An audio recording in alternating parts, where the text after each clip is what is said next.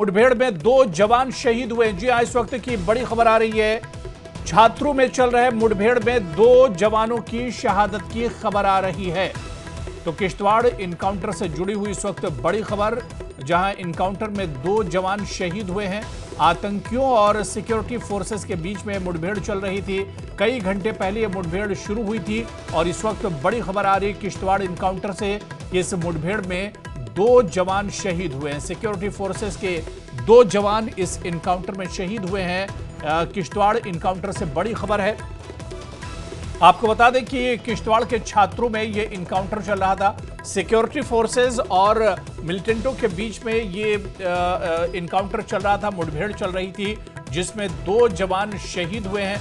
बताया जा रहा था कि अंदेशा ज़ाहिर किया जा रहा था कि चार मिलिटेंट चार दहशतगर्द हैं। जो छुपे हुए हैं और इनके बीच में सिक्योरिटी फोर्सेस ने इनकी घेराबंदी कर ली थी और सिक्योरिटी फोर्सेस और आतंकियों के बीच में लगातार फायरिंग हो रही थी, जिसके बाद अब बड़ी खबर आ रही कि इस मुठभेड़ में दो जवान शहीद हुए हैं।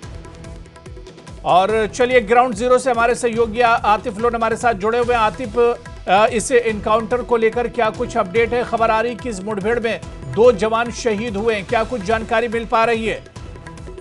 जी, बिल्कुल अबू अभी जो है, इसमें इनकाउंटर में दो जवान जो है वो शहीद हुए हैं। ये कंफर्म रिपोर्ट है, जो ऑफिशियल जो यहाँ पीआईसी में जो डॉक्टर है, उन्होंने कंफर्म रिपोर्ट मीडिया के साथ एक फाइट में उन्हें कह दिया कि दो दो यहाँ पर आर्मी के जो जवान है, वो शहीद हुए हैं। और जबकि दो जो आर्मी है, उन्हें इंजर्ड है और उनका इलाज पीएचसी में फ़र्स्ट एड ट्रीटमेंट जो है वो दिया गया और अभी उन्हें कुछ देर के यहाँ से शिफ्ट किया जाएगा आर्मी हॉस्पिटल या फिर डिस्ट्रिक्ट हॉस्पिटल किश्तवाड़। हालाँकि आज दिन से ही सिक्योरिटी फोर्सेज और जम्मू कश्मीर पुलिस को खबर मिली थी कि जो पासरकोट पिंजनार जो नाला है इसके जो अपर रीजन जो फॉरेस्ट है यहाँ पर आतंकी की मौजूदगी खबर मिली थी और उसके बाद इस एरिया को सिक्योरिटी फोर्सेज ने सर्च ऑपरेशन चलाया था लेकिन आतंकी एक बार फिर एम्बुश लगाकर यहाँ पर बैठे थे और सर्च ऑपरेशन के दौरान आतंकियों ने सिक्योरिटी फोर्सेज पर हमला किया और बिल्कुल आतिफ आप हमारे साथ बने रहिए। डॉक्टर की हम का बयान आपको सुनवाते हैं। जिस वक्त जवान घायल हुए थे इस इनकाउंटर में उस वक्त डॉक्टर का बयान आया था। क्या कुछ कहना था वो बयान पहले सुनवाते हैं।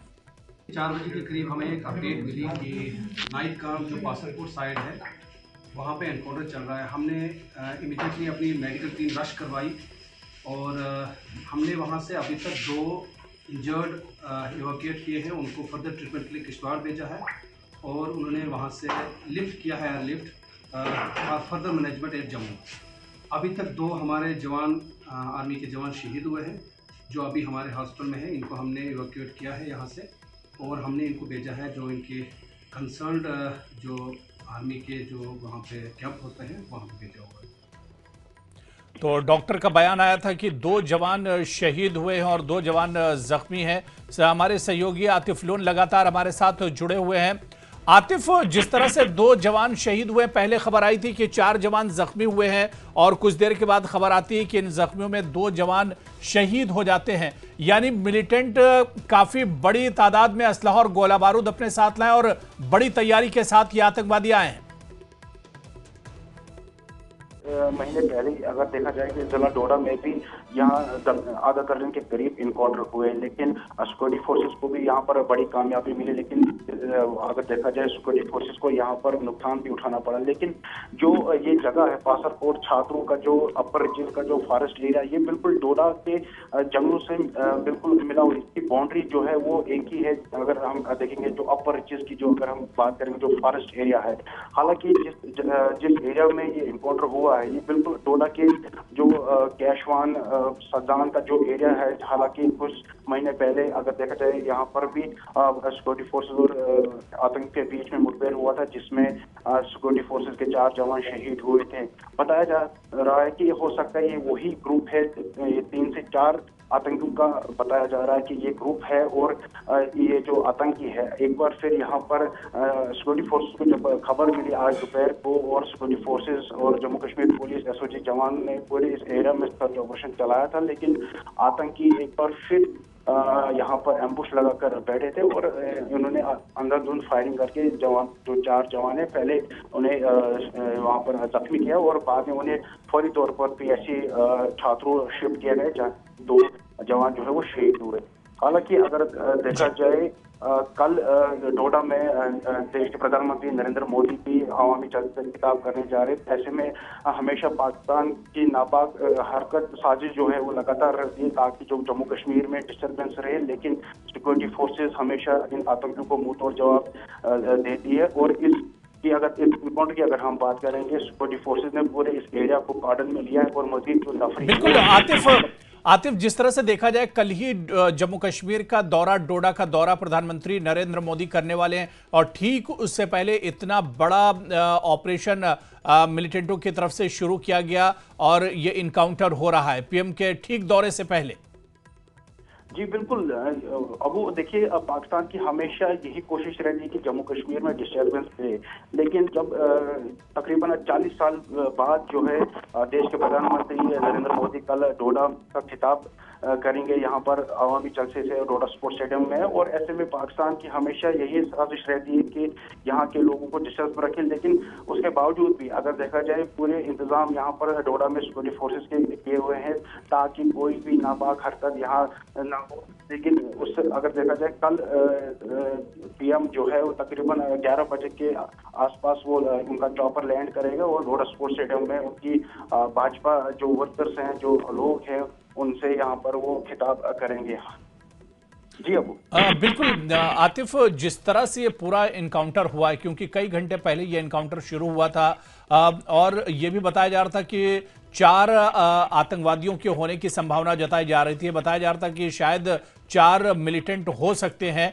जिस तरह से चार जवानों को पहले जख्मी किया उनमें से दो जवानों की शहादत हो जाती है। ऐसे में ये मिलिटेंट पूरी तैयारी से आए और काफ़ी ज़्यादा मात्रा में इनके पास हथियार और गोला बारूद भी है।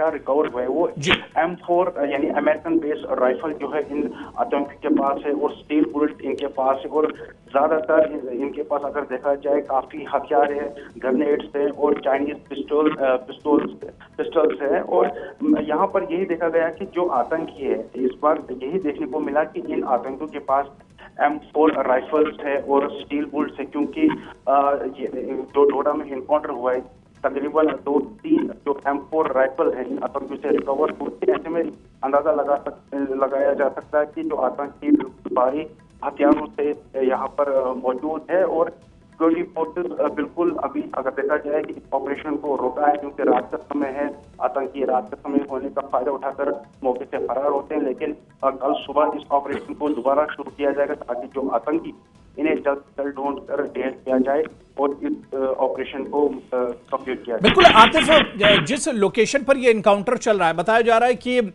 ये पूरा जंगल का इलाका है, पहाड़ी इलाका है, घने जंगल है जहाँ पर ये इनकाउंटर चल रहा है और अक्सर ये देखा गया कि जंगल के आसपास वारदात को अंजाम देते हैं आतंकी और उसके बाद घने जंगलों से फरार हो जाते हैं, क्योंकि अब रात हो गई है, ऐसे में क्या सर्च ऑपरेशन रात में भी चलाया जा रहा है?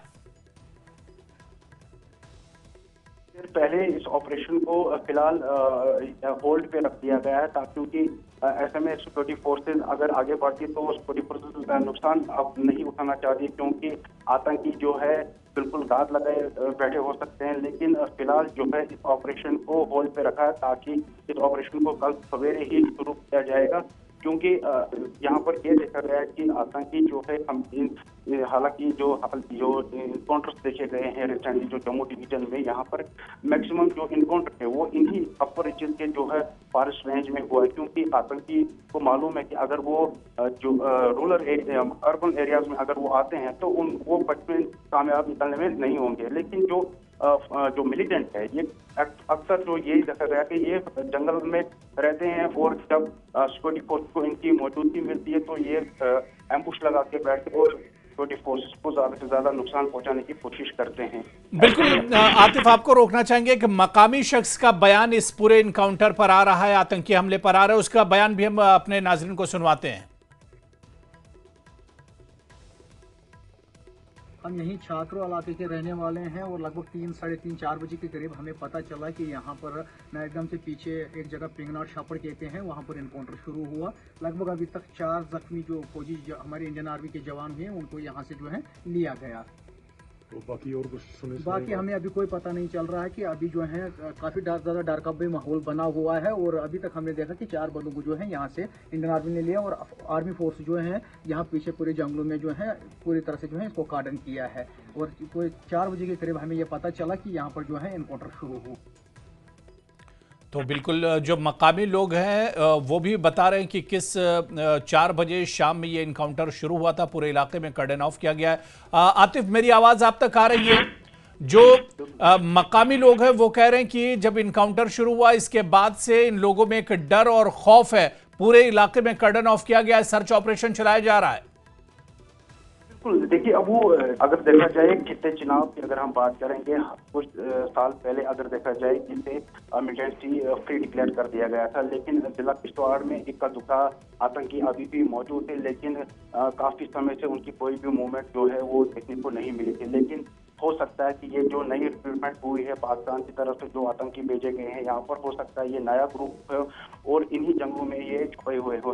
अगर देखा जाए जो गुजर बकरवाल है, जो पहाड़ी एरिया पे रहते हैं, गर्मियों के सीज़न में, लेकिन अब जो सर्दी का मौसम शुरू होने वाला है, जो बकरवाल जो गुजर है वो अब पहाड़ों से, अब मैदानी इलाकों का रुख कर रहे हैं। और ऐसे में आतंकी जो है, उन्हें खाने पीने की कोई भी बंदोबस्त वहाँ नहीं मिल सक, मिल रही होगी। क्योंकि अब जब आतंकी, जब गुजर बकरवाल पहाड़ों से नीचे आ रहे हैं तो क्योंकि मैक्सिमम यही देखा गया कि आतंकी इन्हें बंदूक के नोक पर इनसे खाना लेते खाते हैं, खाना बनवाते हैं। ये देखने को मिला हाल ही में जो डोडा में इनकाउंटर हुआ तो लेकिन अब जब वहाँ गुजर बकरवाल जो पहाड़ों से नीचे मैदान की तरफ़ वापस आ रहे हैं तो क्योंकि जो पहाड़ी एरिया है, वहाँ पर यही देखने को मिलता है कि आतंकियों को वहाँ पर खाने पीने की कोई भी चीज़ें दस्तियाब नहीं है।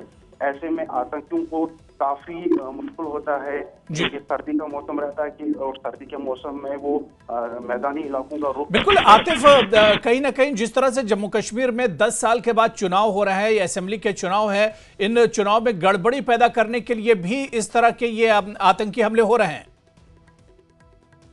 साल बाद जो है असेंबली इलेक्शन हो रहे हैं और खासकर 370 के बाद पहली बार चुनाव हो हैं।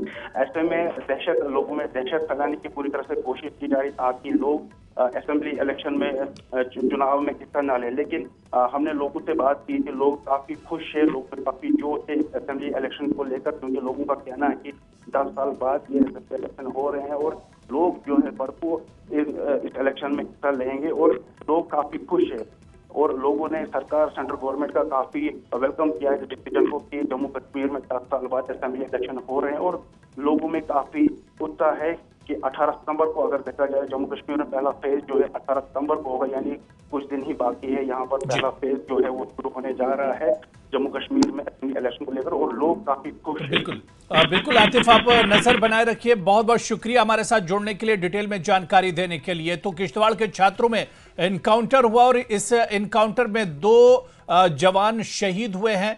चार बजे ये इनकाउंटर किश्तवाड़ के छात्रों इलाके में शुरू हुआ था, जिसके बाद आतंकी और सिक्योरिटी फोर्सेस के बीच में लगातार गोलियों का तबादला हुआ। उसके बाद खबर आती है कि चार जवान जख्मी हो गए लेकिन इस वक्त ये बड़ी खबर आई कि दो जवान शहीद हो गए और जबकि दो जवान जख्मी हैं।